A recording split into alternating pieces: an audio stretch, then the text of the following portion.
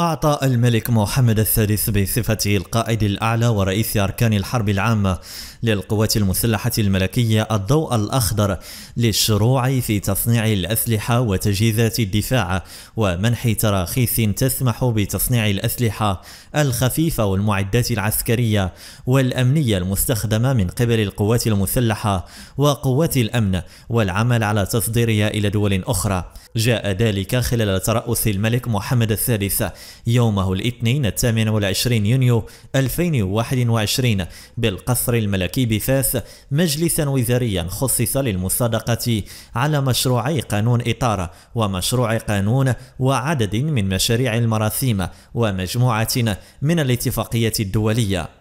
وقال بلاغ من الناطق الرسمي باسم القصر الملكي عبد الحق المريني إن فيما يخص المجال العسكري وخلال هذا المجلس الوزاري صادق جلالة الملك القائد الأعلى ورئيس أركان الحرب العامة للقوات المسلحة الملكية على مشروعي مرسومين يخصان على التوالي تطبيق القانون المتعلق بعتاد وتجهيزات الدفاع والأمن والأسلحة والذخيرة وتطبيق القانون المتعلق بالأمن السيبراني وأضاف المصدر ذاتي أن المشروع الأول يهدف إلى تحديد كيفية ممارسة أنشطة تصنيع العتاد والتجهيزات المرتبطة بهذا المجال وعملية الاستيراد والتصدير والنقل المتعلقة بها. أما المشروع الثاني فيحدد إجراءات حماية أمن نظم المعلومات الخاصة بإدارات الدولة والجماعات الترابية والمؤسسات والمقاولات العمومية والبنيات التحتية ذات الأهمية الحيوية والمتعاهدين الخواص. ويعتقد أن هدف المغرب من خلال المصادقة على مشاريع قوانين في صناعة عسكرية يفتح له الباب أمام تطوير صناعاته العسكرية وتلبية حاجياته في مجال المعدات والذخائر وقطع الغير.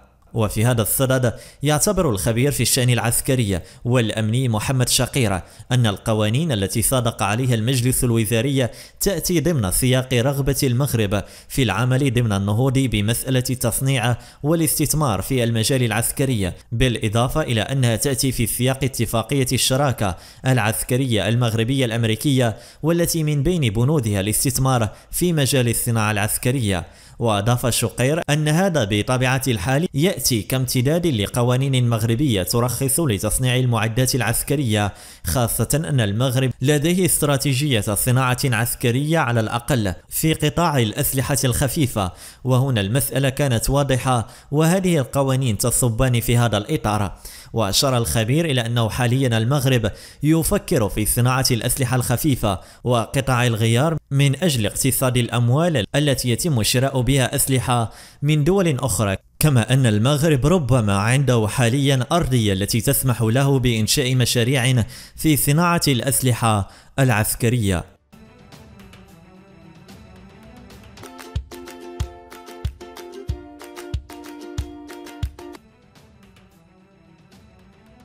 في ظل تأزم العلاقات المغربية الإسبانية ووصول الأزمة لتشمل البرلمان الأوروبي بعد تصويت على قرار ينتقد المغرب تسعى الدبلوماسية الموازية إلى رعاية العلاقات التي تربط المغرب بباقي المؤسسات الأوروبية والسعي نحو تطوير الشراكة معها. وتحضيرا للزيارة الرسمية التي سيقوم بها رئيس الجمعية البرلمانية لمجلس أوروبا ريك ديمس للمغرب. وعلى هامش إشغال المرحلة الثالثة من دورة الجمعية استقبل هذا الأخير في لقاء عمل عضوي الوفد المغربي لدى الجمعية البرلمانية لمجلس أوروبا. علال العمراوي رئيس الوفد وعبد العالي حميد الدين بمقر مجلس أوروبا هذا الأسبوع بحضور ريما مصور نائبة القنصل العام للمملكة المغربية بستراسبورغ. وبهذه المناسبة أشاد ديمس بالمسار التصاعدي الذي تسير عليه العلاقات بين المملكة المغربية والجمعية البرلمانية لمجلس أوروبا منذ حصول المغرب على وضع شريك من أجل الديمقراطية سنة 2011 مؤكدا على النتائج الإيجابية لهذا التعاون الذي يعد ثمرة الالتزام الإداري للمغرب والذي لا رجعة فيه كما أكد رئيس الجمعية البرلمانية لمجلس أوروبا على أن الزيارة التي سيقوم بها قريبا إلى المملكة المغربية ستشكل مناسبة لإعلان عن خطة العمل الرامية إلى تعزيز الشراكة بين المغرب والجمعية وإطلاق التفكير حول تطوير وضع الشريك من أجل الديمقراطية الذي تحظى به المملكة. من جهتهم أشاد البرلمانيون المغاربة بجودة العلاقات التي تجمع بين المملكة والجمعية البرلمانية لمجلس أوروبا. حيث أعربوا عن تطلعهم إلى تعزيز الشراكة القائمة مع الجمعية وفي هذا الإطار أكد رئيس الوفد المغربي بأنه من المهم إعطاء دينامية جديدة لعلاقاتنا بحيث يرى بأن الوقت قد حان لمنح المغرب وضعا أكثر تقدما. وينتظر أن يحل قريبا وفدا عن الجمعية البرلمانية لمجلس أوروبا يرأسه ديمس بالمغرب. حيث سيتم تخليد الذكرى العاشرة للشراكة من أجل الديمقراطية التي تجمع الجمعية بالبرلمان المغربي. وحسب مصادر برلمانية فإن اللقاء كان هدفه حث ديمس على زيارة المغرب وهي الزيارة التي ستخدم موقف المغرب بشكل كبير وبصيغة غير مباشرة كما أن هذا اللقاء ترافع فيه النواب من أجل إقناع الجمعية البرلمانية لمجلس أوروبا على تطوير اتفاق الشراكة من أجل الديمقراطية مع المغرب. والذي أكمل عشر سنوات من عمره ويرى المغرب أنه بات يحتاج إلى تطويره لإعطاء المغرب موقعا أكثر تقدما في هذا الاتفاق.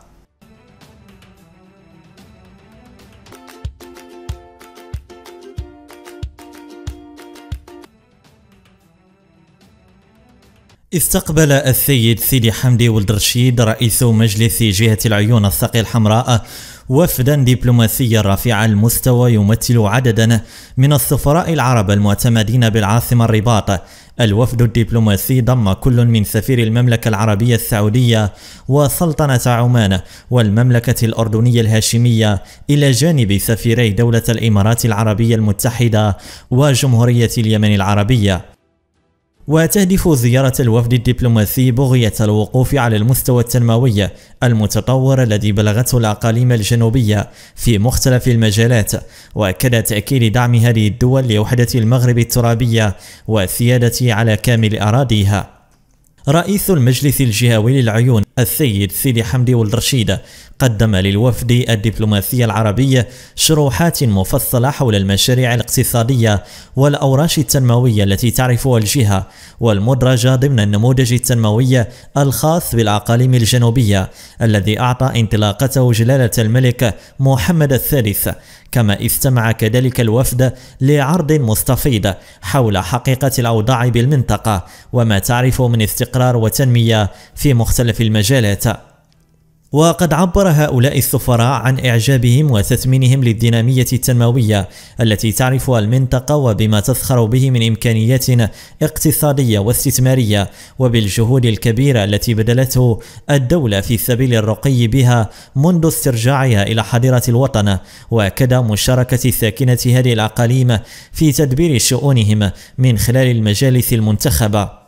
وتعكس هذه الزيارة التاريخية والهامة الدعم الذي ما فتئت تقدمه هذه الدول العربية الشقيقة في المحافل الإقليمية والدولية لوحدة المغرب الترابية والسيادة على أقاليمه الجنوبية والذي تجسد من خلال افتتاحها لقنصليات بالأقاليم الجنوبية.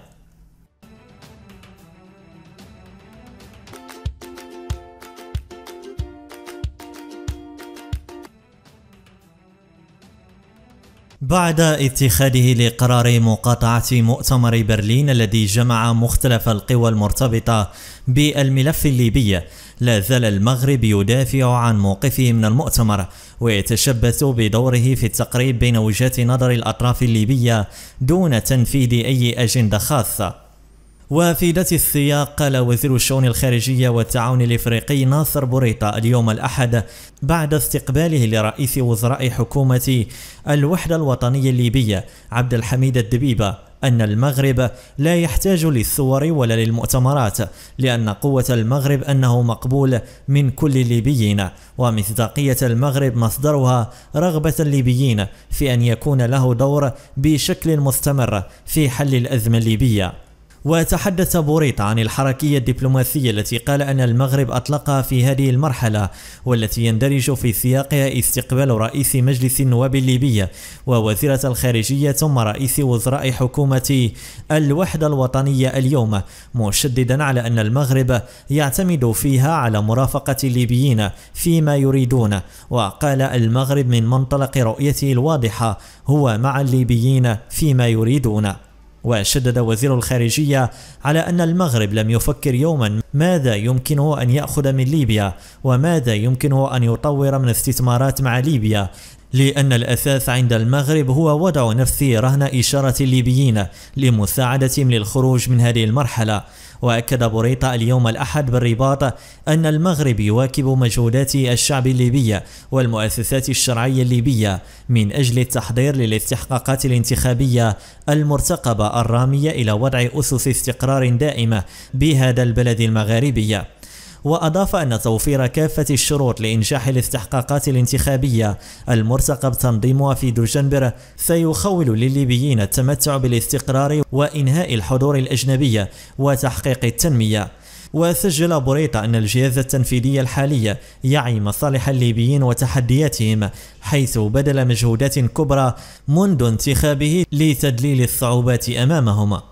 فيما أشاد رئيس الحكومة الليبية المؤقت عبد الحميد الدبيبة اليوم الأحد بالرباط بالجهود التي تبذلها المملكة المغربية من أجل تحقيق الاستقرار ببلاده. وقال الدبيبة في تصريح صحفي عقب مباحثاته مع بوريطة إن زيارتي إلى المغرب تأتي في إطار العرفان التام لجلالة الملك محمد الثالث على الجهود المبذولة في سبيل توحيد المؤسسات الليبية واستقرار ليبيا سياسيا وأمنيا.